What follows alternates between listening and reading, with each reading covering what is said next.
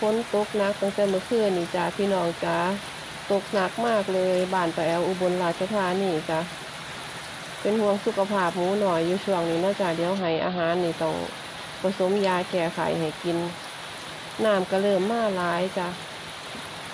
ตกทั้งคืนเลยแบบนัก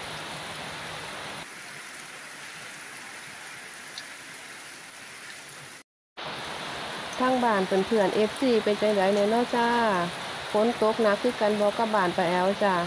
เป็นเพื่อนที่เลี้ยงหมูนำกันเนาจ้าอากาศแบบนี้อย่าลืมเด้อจ้า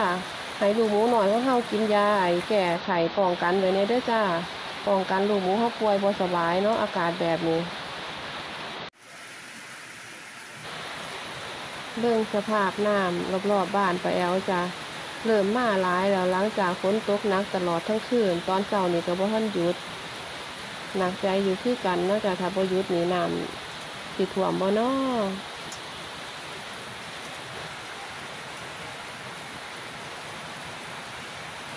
เพื่อนเพื่อน FC ทุกคนเนาะจ้ะถ้าเจอสภาพแบบนี้เนาะอ่าผู้ใดเจอสภาพน้ำท่วมก็สู้ๆเนาะจ้ะเป็นกำลังใจให้กันอีกบ่โดนท่าอยู่กันนี้กับไปกับน้ำก็จะลดลงเนาะจ้ะ